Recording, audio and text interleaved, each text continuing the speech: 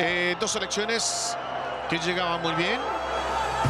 Dos selecciones que invitaban o existía la expectativa de un gran partidazo. De la Cruz con el tiro de esquina. Ugarte y luego Darwin Núñez de cabeza y al finalmente es que la desviaba, congelaba ahí a Alison Becker. De lo más peligroso de Uruguay en ese momento, en primer tiempo del partido. Otro con el tiro de esquina de, de la Cruz. Y esta vez sin marca llegaba Matías Oliveira que fallaba. Otra de Uruguay. Nández. Esta fue la más clara.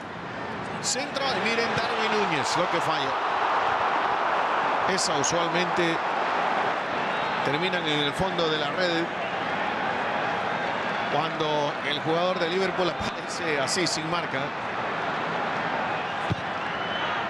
Alison Becker que lidiaba con la presión alta. Rafinha que se escapaba en el mano a mano contra Rochet.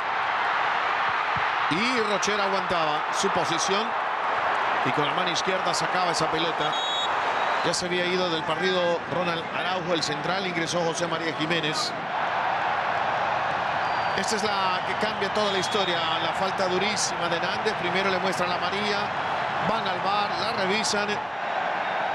Observen lo que sucede con el tobillo derecho, sí, de Rodrigo. Fuerza desmedida, es una acción brusca en el bar. Lo hacen cambiar la María por la roja y Uruguay se quedaba con un hombre menos al 74.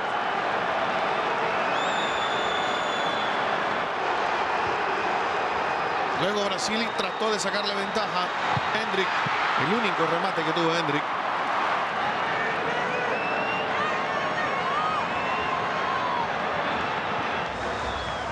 Luego en la tanda de penales se quedaba la lista. Militao era el primero para Brasil.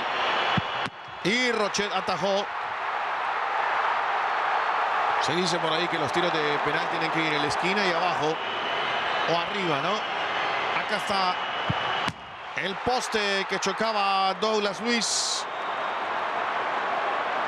Ya fallaba dos Brasil hasta que llegó Ugarte para definir todo y dar el boleto a semifinales a la selección uruguaya que estará enfrentando a Colombia el próximo 10 de julio en Charlotte, Carolina del Norte.